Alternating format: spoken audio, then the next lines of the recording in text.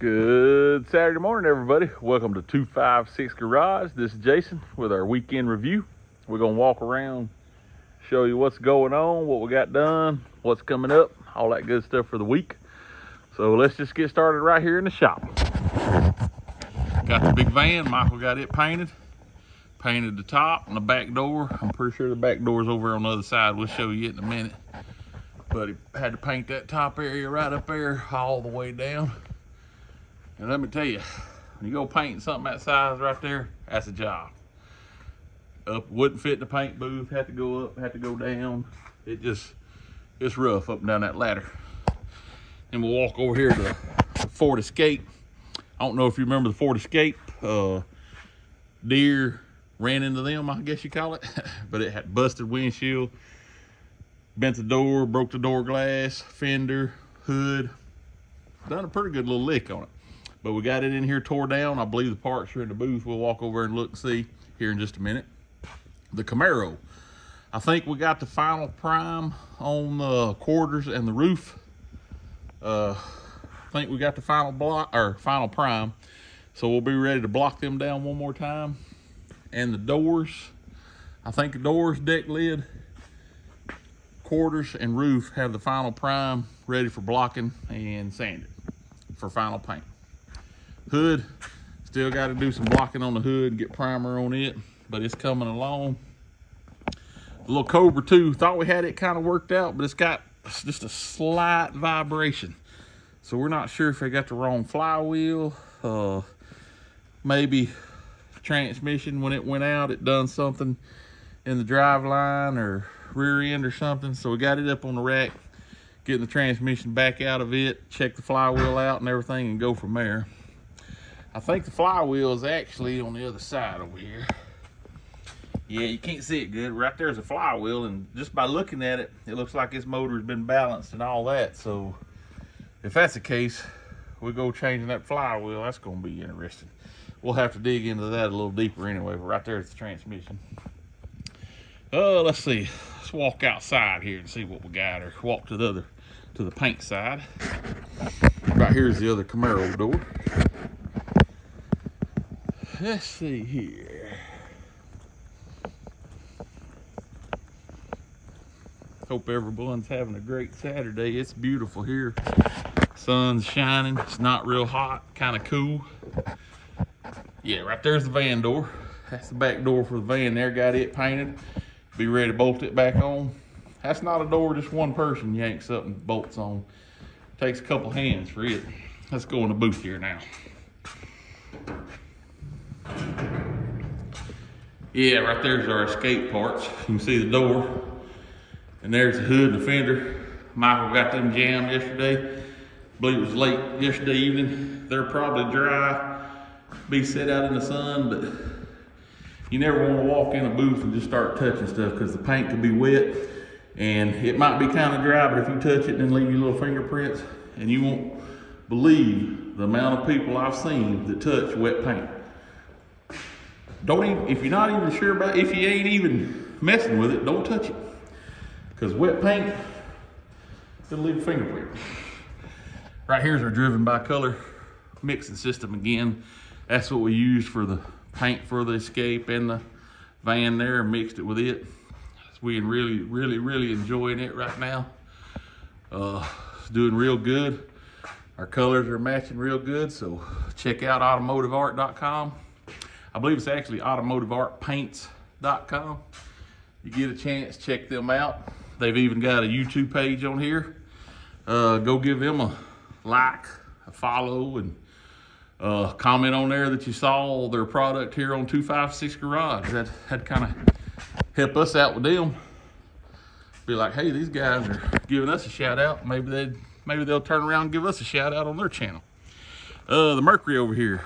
The inspector from the state showed up, passed inspection, so she's ready to go now, except for a tail light. We do have to get a tail light. It's got them LED bulbs, and if they blow, you don't just replace the bulb. It's the LED strips. You have to replace the whole tail light.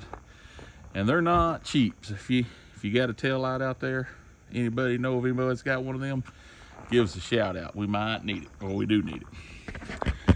All right, our F-250 here. This is the F-250 that was red hitting the side. Y'all been kind of following along on. We've got the black doors bolted on it. I painted the cowl Thursday evening so we could get the wiper stuff all in. Windshield guys come in, put in the windshield and the back glass. Yeah, put in the back glass yesterday. If you remember, these doors are off of 08 and we're wanting to use the door panels, carpet, everything out of the 08 on this 01.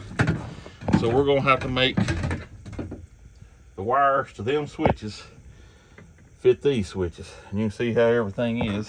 It's different. The 08 plugs in right in there and the 01 runs all the way through the door. So we're gonna have to take the pin, change some wires around pin because this 08 interior looks a lot better than the old 01 interior. We're wanting to use the dash and all. We probably won't put the dash in right away. That'll be a little later down the road because right now we're wanting to get it up, running, driving, get it where the windows are going up and down, uh, get the front end on it. Since we've got the back glass on, we can put the bed in pretty quick. We'll probably have to drill us a hole for the gooseneck because I'm sure that bed don't have it. Uh, we still got to pull the front part off so we can put the late model headlights in it. And we want to paint all this. We want to get it black. When you open the hood, we want to see black. Not, oh, this used to be a red truck. You know what I mean? But anyway, then the Toyota over here, the RAV4, if you remember it or not, the quarter pound damage. Got it worked in prime. I'm sure Michael will probably paint the probably paint the escape panels first so they can get them hung and then he'll get this in there in the booth so probably paint them monday paint this tuesday is what i'm guessing then we'll get the dodge over there in uh, i thought about trying to get the old race car and put a little petrol in it today so we could back it around and move it around some get it out of the grass and it's just good to crank them and move them every now and then and alan's gonna crank it the other day but it slap out of gas so i may do that today uh, like I said, right there is the old parts truck. we put the red door on it. Old blue Chevrolet up and running. I think we're waiting for a tail light for it, or that goes in the, it ain't a tail, it's a tail light that goes in the, where the tailgate handle is. Cause that's made where the tailgate opens from the inside. And then there's a little light goes right there. So that and putting the front bumper on, and I think it'll be ready to go. And I believe that's about everything the little Civic is still on the frame machine. We ain't had time to mess with it. Uh, Got to get started back on it. Hopefully pretty soon. I think Alan's got most of the parts in for it. We got a little Kia over here that uh, insurance job come in on the rollback Thursday. I'm pretty sure it'll probably be, just by looking at it, I'm sure it'll be a total. Uh, fender, door, wheel, some suspension, and it got into that post pretty good. So, and all the way down the side, back bumper that will probably be a total. But uh, other than that, I think that's about everything. Everything we got. A couple out there that we need to work on. The GMC, I believe it got picked up yesterday. Uh, like I said, the Mercury, we'll get a tail light in it. It'll be for sale. Got to do a little buffing on the car sitting beside it. Hopefully we'll get the little Honda Civic Air pulled and get it in the paint shop, have it ready for sale pretty soon.